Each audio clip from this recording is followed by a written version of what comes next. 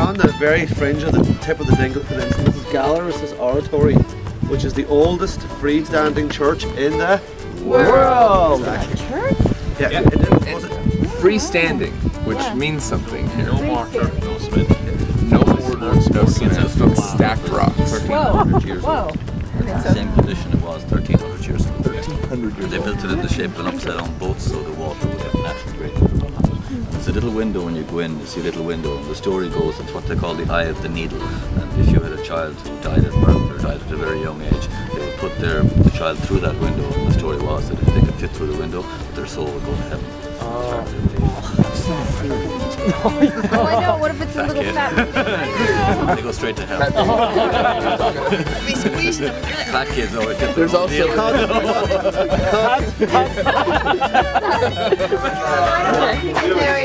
No chance of fitting. Oh my gosh, this is tiny. She's being reborn. Yeah, there's no way. Uh, this hole is what is it, the eye of the needle or something? Yeah, yeah, yeah. And I was trying to fit through so I can get married this year, but I guess I can't. so I'm gonna I'm gonna be a hermit for the rest of my life. Oh, in here. Yeah. Yeah, I'll just live here and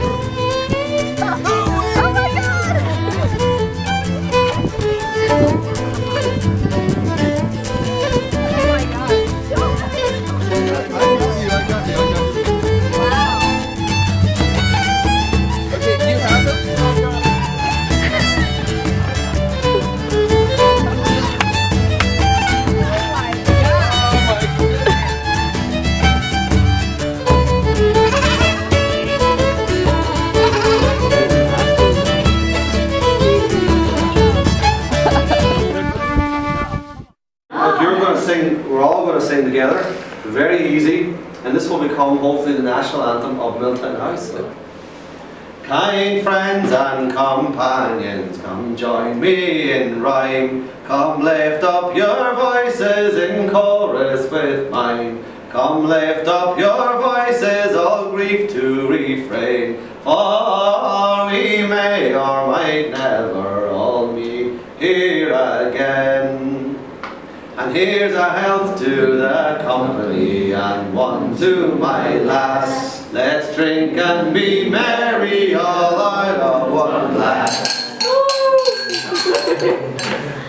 Let's drink and be merry, all grief to refrain. For we may or might never all meet